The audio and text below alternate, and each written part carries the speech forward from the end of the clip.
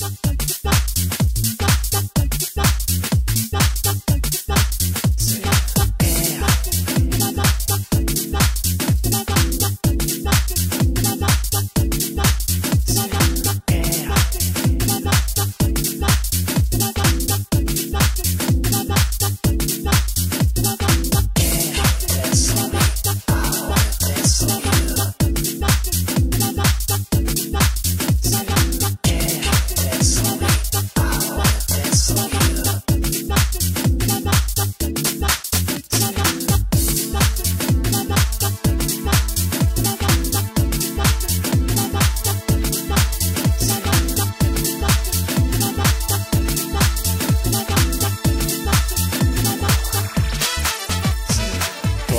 Dar a conocer no solo el arbolado existente, sino cómo estamos trabajando para su conservación y cuáles son las fórmulas para valorar en qué consiste un arbolado monumental.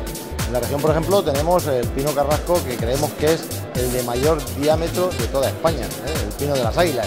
Eh, tenemos la olivera de ricote como uno de los árboles más viejos, tenemos el taray de farallón ¿eh? como uno también de los taray más grandes. Entonces los árboles monumentales se valoran bien por la antigüedad, bien por el perímetro porque destaquen dentro de su especie, bien por la altura porque también destaquen dentro de su especie y tenemos en torno a 1.200 árboles que podríamos considerar monumentales, de los cuales nos hemos centrado en el mantenimiento y conservación de 200. Es decir, eh, un conjunto cultural, histórico y por tanto monumental eh, de importancia para la región. Eh, nosotros hicimos un proyecto hace ocho años donde nació un poco la, Fundación Bosques sin Fronteras y lo que pretendíamos era catalogar los árboles más singulares de España.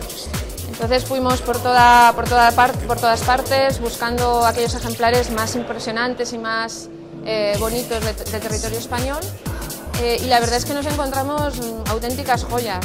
Eh, cosas que verdaderamente, árboles verdaderamente maravillosos. Los murcianos se conciencien de que tienen un patrimonio natural impresionante, que es necesario conservarlo y que sobre todo las, eh, digamos los responsables políticos se den cuenta de que hay que apoyar y hay que concienciar de alguna manera a la población de, la importancia de ese patrimonio y por tanto desarrollar eh, digamos, mecanismos de, conservación y de ayuda y de gestión para la mejora de ese patrimonio vegetal.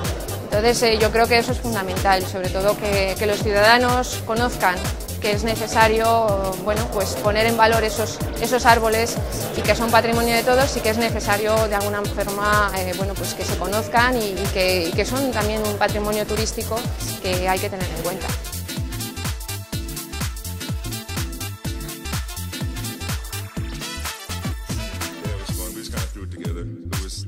Y he venido a, la jornada porque me parece un tema muy interesante y en Sierra Espuña tenemos varios árboles singulares que es necesario conservar y siempre está bien tener unas bases para saber cómo tratarlo. No estamos hablando de un, árbol cualquiera. hay que tener, ser consciente de que hay que tener unas medidas de gestión eh, singulares como ellos son.